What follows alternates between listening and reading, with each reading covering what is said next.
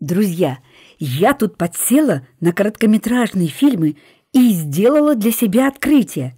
Оказывается, что за несколько минут можно получить максимальное удовольствие от этого жанра.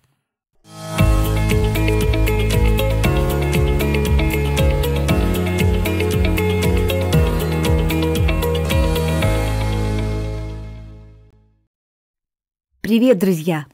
Вы слушаете подкаст «Маленькие киношедевры» и с вами я, ваша ведущая Анна.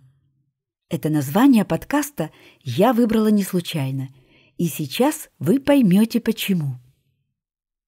Сегодня мы поговорим о невероятно атмосферных и глубоких короткометражных фильмах, которые затрагивают разные аспекты человеческой жизни и фантазии. Эти фильмы – настоящие маленькие шедевры – которые за короткое время умудряются сказать больше, чем многие полнометражные фильмы. Ну что, поехали!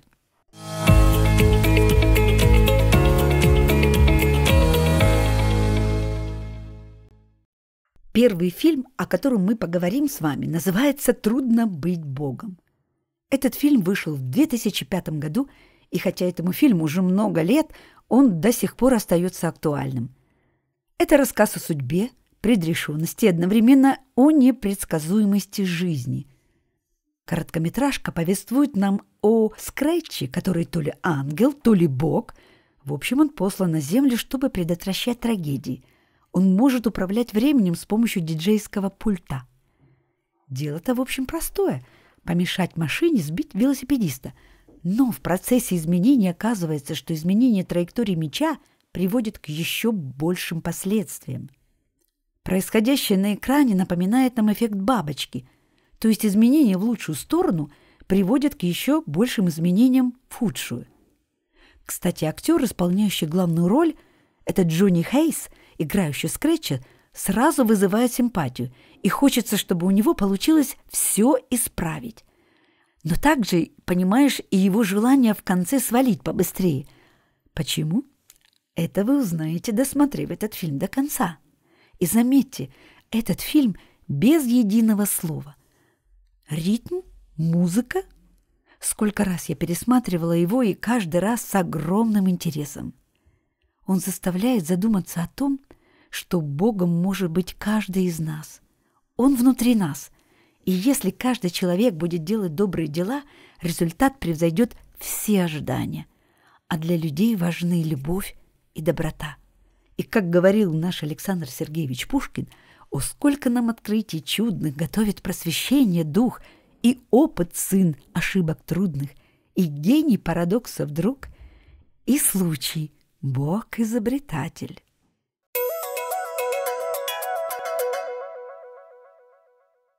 Далее давайте поговорим о яркой и запоминающейся черной комедии с таким интересным названием «Твою мать, Иннокентий». Этот фильм буквально взорвал мое воображение. Режиссура, великолепные диалоги, интересный сюжет — все на высшем уровне. В главных ролях блистательная Аглая Тарасова и Александр Гудков. Сценарий был написан талантливым писателем Александром Цыпкиным, который вновь доказал, что умеет сочетать искрометный юмор с глубоким смыслом. Фильм повествует о том, как два героя, парень и девушка, решившие свести счеты с жизнью, оказываются в неожиданной ситуации, которая меняет их планы. Несмотря на мрачные обстоятельства, фильм оказывается жизнеутверждающим и оптимистичным. Он напоминает нам, что даже в самых тяжелых ситуациях не стоит отпускать рук. Проблемы, которые кажутся непреодолимыми, часто оказываются лишь временными трудностями. Александр Гудков, как всегда, блистает. Он не просто актер. Он излучает счастье, радость и добро, а его персонаж наполняет экран позитивной энергией, делает даже трагические моменты в фильме немного легче. Аглая Тарасова также великолепна. Ее героиня Алиса приносит в истории свои внутренние переживания, и, несмотря на сдержанность в эмоциях, мы чувствуем всю глубину ее боли и сомнений – в финале фильма особенно ярко ощущается ее внутренний конфликт. и мне показалось, что вот-вот она расплачется. И очень хотелось крикнуть «Твою мать, Иннокентий, обрати внимание на девушку!» В общем, эта короткометражка не просто комедия, этот фильм о нас с вами. Мы живем, порой забывая, что выход из трудной ситуации может быть ближе, чем кажется. И он скрывает проблему слепоты к тому, что происходит вокруг, и напоминает, что важно не только концентрироваться на своих трудностях, но и замечать людей рядом. В общем, это визуальное чудо, которое стоит посмотреть. Это ведь кладет цитат, остроумного юмора и глубоких мыслей. И этот фильм учит не падать духом и искать смысл даже в самых трудных жизненных обстоятельствах.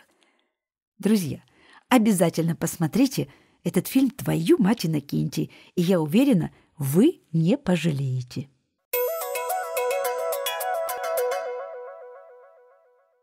Следующий фильм «Каждый 88-й». Это короткометражный фильм – который заставляет задуматься о смысле жизни и смерти и переносит нас в иной мир, где молодому советскому солдату приходится столкнуться с новой реальностью после гибели на поле боя. Фильм погружает зрителя в атмосферу тревоги и неопределенности, вызывая глубокие эмоциональные переживания. Сюжет фильма начинается с трагедии. Молодой советский солдат погибает на поле боя. Он хотел жить, но попал в другой мир, о котором не писали ни в одной книге. Все, чем он жил, все его ценности и воспоминания в прошлом. И ему остается только ждать билет в новую жизнь и надеяться на то, что он будет счастливым. Фильм затрагивает тему посмертного существования, но делает это не через религиозные или мистические образы, а через простую, но мощную метафору зала ожидания. Здесь люди, чьи жизни оборвались, терпеливо ждут своего билета в новое воплощение. Звуковое сопровождение в фильме минимально, что подчеркивает атмосферу тишины и пустоты. Редкие звуки, такие как шорохи или приглушенные голоса, создают ощущение и реальности происходящего, усиливая эффект потустороннего мира – Фильм «Каждый 88-й» поднимает такие важные вечные темы, как хрупкость человеческой жизни и страх перед неизвестностью. А основное послание фильма — это призыв к осмыслению ценности жизни. Каждый 88-й — это глубокая, эмоциональная короткометражка, которая трогает до глубины души. Режиссер Дарья Лебедева сумела передать сложные чувства и идеи с помощью простых, но выразительных средств. Фильм вызывает у зрителя сильные эмоции и заставляет задуматься о том, что действительно важно в жизни, и какая бы судьба вам ни была уготовлена, вы должны достойно пройти свой жизненный путь.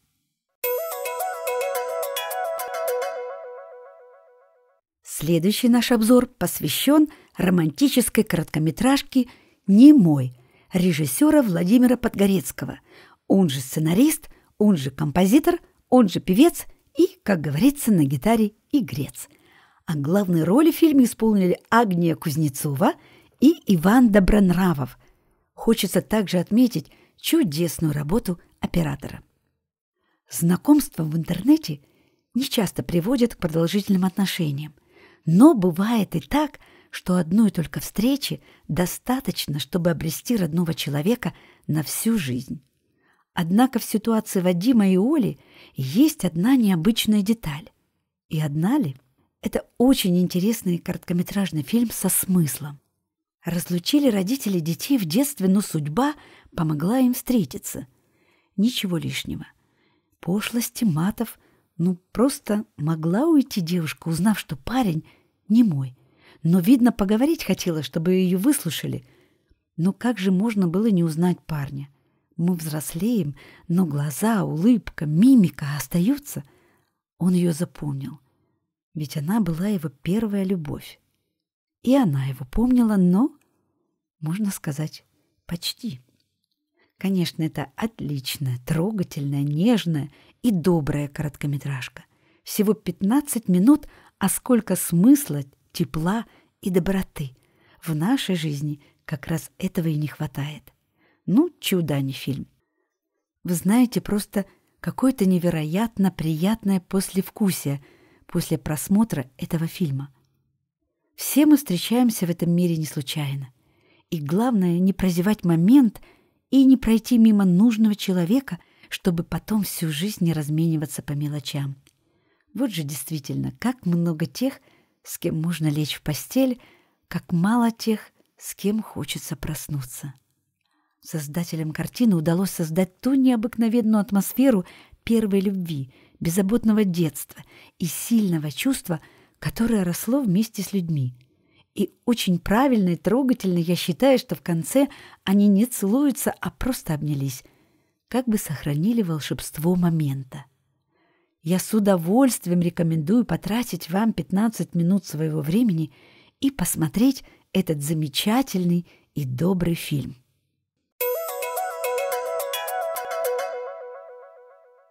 И напоследок, друзья, я хочу рассказать вам о короткометражной комедии под названием «Холодец». Этот фильм снят в 2020 году режиссером Алексеем Марусовым и представляет собой оригинальную авторскую работу, которая погружает нас в атмосферу советской деревни. Здесь в течение одного дня разворачиваются события, затрагивающие судьбу двух – мягко говоря, неудачливых персонажей. Действие происходит в сельской глубинке, среди простых людей и таких же простых, но глубоких отношений. Ощущается советская эпоха.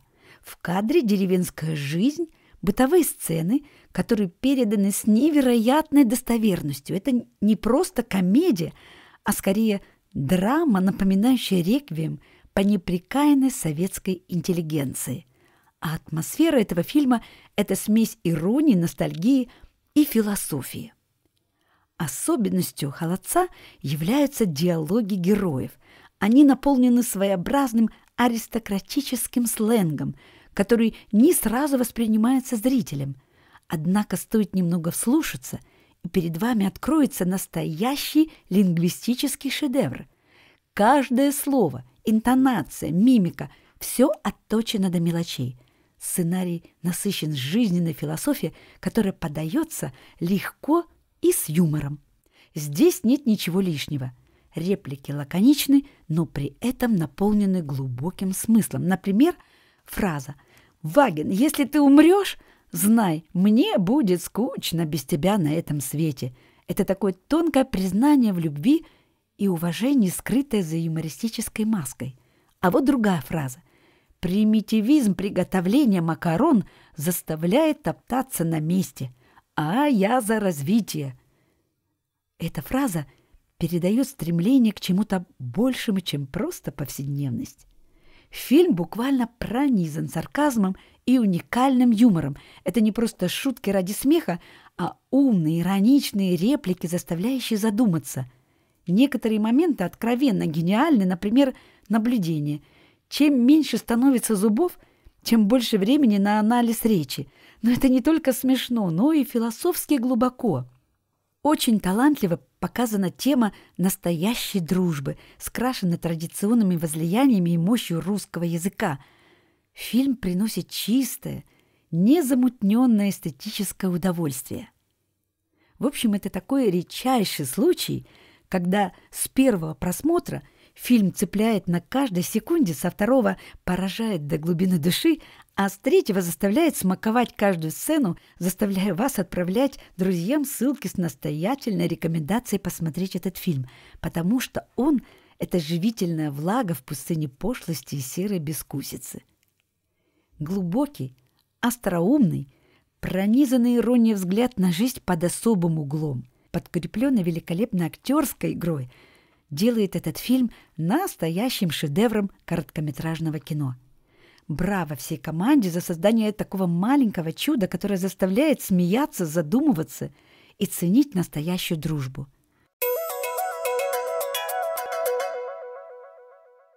Ну что ж, друзья, я желаю вам приятного просмотра и незабываемых впечатлений. Спасибо, что вы были со мной на этом первом выпуске моего подкаста. Не забывайте наслаждаться кино, которое делает нашу жизнь ярче. До новых встреч, друзья!